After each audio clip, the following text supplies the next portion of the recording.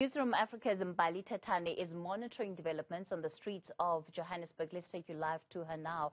Mbali, of course, we've seen officials out and about throughout the day. Are there particular areas of concern that they've identified so far?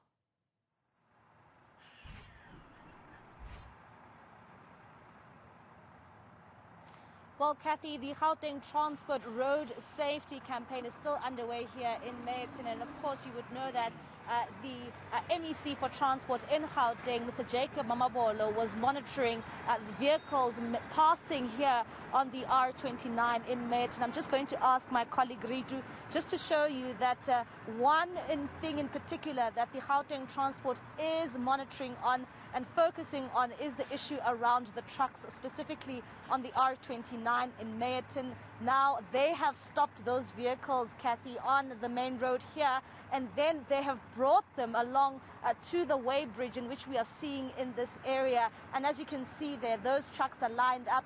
Kathy, one thing in particular that uh, uh, the Gauteng Transport Department has cited is, of course, those trucks which are overloaded.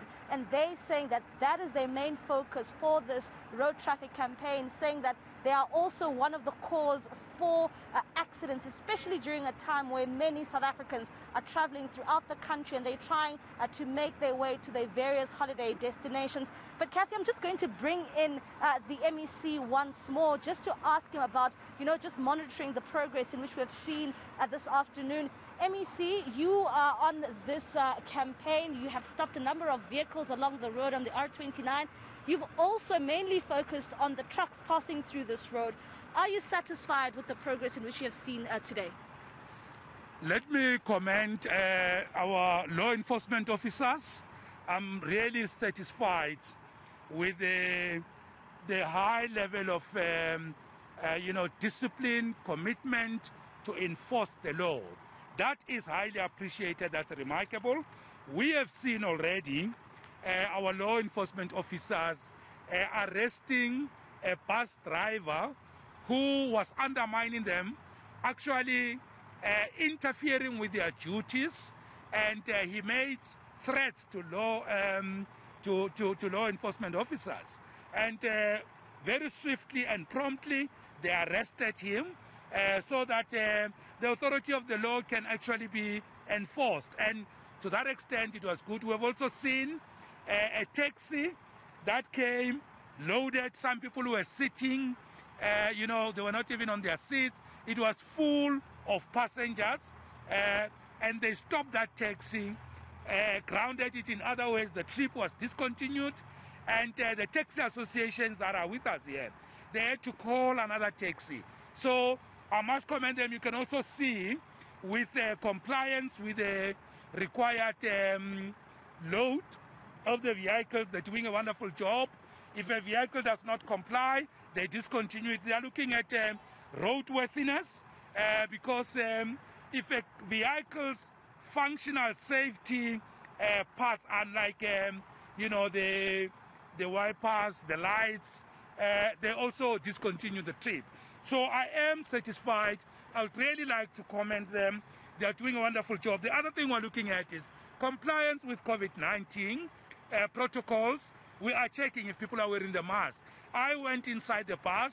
I checked everybody with the law enforcement officers. We checked inside the taxi. The private vehicles we stopped. So, um, uh, so we are checking everything. And I must say that uh, this work we are doing on the weighbridge of checking um, the load, it's also important because overloaded vehicles are not only a threat to other motorists, they also damage the road, particularly this um, big uh, freight um, trucks. So we are also checking to protect uh, the road reserve. So to, to that extent, I must say, I am satisfied, but I would like to appeal to road users, respect our law enforcement officers. Um, they are protecting lives. They are doing their job. Please respect them. Secondly, we are seeing increased movement. We are appealing to people to stay at home uh, so that they can remain protected. And if you have to travel, respect the laws of this country, uh, respect other road users, respect pedestrians, and make sure that your vehicle is fully compliant. Mr. Mamabolo, one thing that you've also focused on, of course, uh, that's why we find ourselves on this way bridge, is the issue around the trucks. Are the trucks in which you are monitoring here, are they complying with the law? And have you spotted any which are not complying with the law?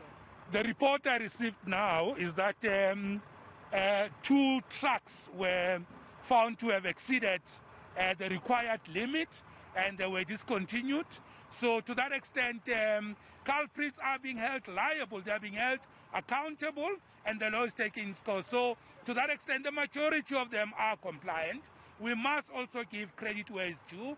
Those who are respecting the law, we must thank them for respecting and upholding the laws of our country. All right, thank you very much. Of course, that is Jacob Mamabolo, the MEC for Transport here in Gauteng, just talking about uh, the road safety campaign, saying that they are, of course, trying to curb uh, road fatalities, in which we see, especially uh, during, uh, you know, holidays, like in particular the Easter period, as well as, uh, you know, the festive season. So this time around, for the Easter period, they're focusing on, you know, things such as these truck drivers or trucks uh, Uh, that may cause harm to other motorists.